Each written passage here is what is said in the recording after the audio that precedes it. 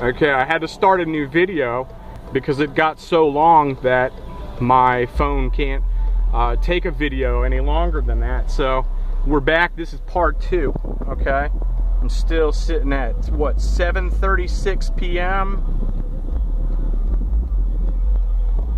Okay, and we've just now witnessed this. You scoot up some, I'll take your place. That way the light can change. If you scoot, Scoot up, up. bit- if you scoot up a little bit, I sit, uh, I sit right here trying to take your place. You might I'm gonna scoot far, up. You might be too far up. But they told me I got the city's engineer's office. I'm making this video because they don't believe that this is happening. Yeah, it's crazy. I ain't never seen this light like this. This is absolutely because it's been through five changes. Yeah, he said that this is optical though, so he said that camera up there Yeah. is actually that is actually it. He said there's no sensors in the road here.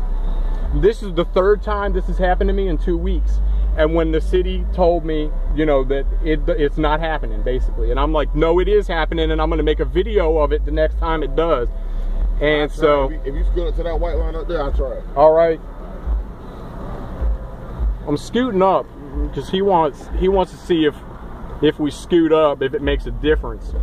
Okay, I don't think it will based on conversations that I've had with folks.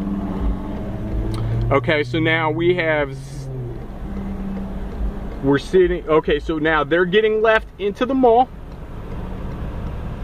Get they're getting left into the mall, so the next people that are supposed to go should be us. And let's see. And we finally did. We finally did.